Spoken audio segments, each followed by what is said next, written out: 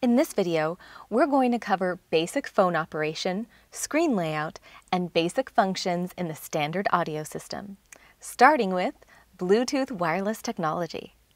If it's your first time connecting to the vehicle's Bluetooth wireless technology, you will need to pair your compatible smartphone with the vehicle's Bluetooth system. Of course, your smartphone's Bluetooth must be on for this to happen. On the touchscreen, click All menus and the phone icon to go to the phone screen. When your smartphone is connected, you will see much of the same information on the screen, like the phone's charge status, signal strength, the name of the phone, the Bluetooth connection status, and more. When receiving an incoming call, the screen will display the call with the caller's info and the accept or reject buttons. You can answer the call by pressing accept on the touchscreen, or you can use the steering wheel phone button.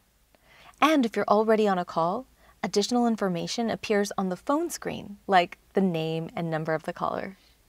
Much like the operation of your smartphone, if another call comes in while you're already on the line, you'll be able to switch between callers or end calls with all callers. For more information, visit the Kia Feature video channel. Refer to the Car Multimedia System User's Manual and the Quick Start Guide that came with your new Kia. Thanks for watching.